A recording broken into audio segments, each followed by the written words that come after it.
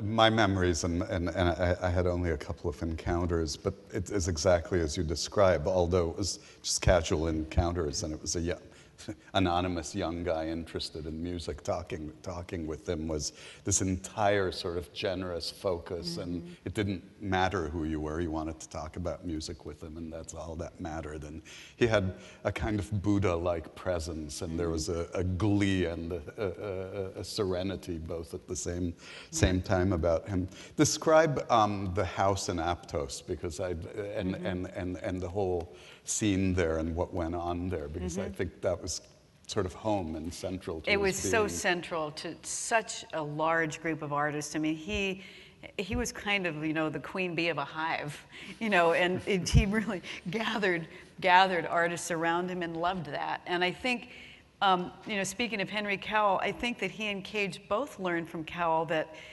don't depend on the establishment to give you an opportunity. Don't depend on a symphony orchestra to commission you. Um, and just get a group of friends together and do your work.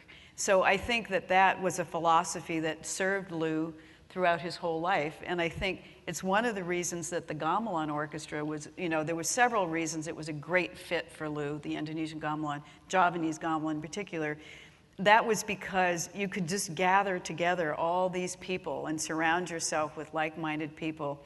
And the other, other half of it was that those were beautifully tuned instruments that were all made by one, one instrument maker. And so you could have this great group of friends playing a tuned uh, you know, percussion ensemble, and what could be better for Lou?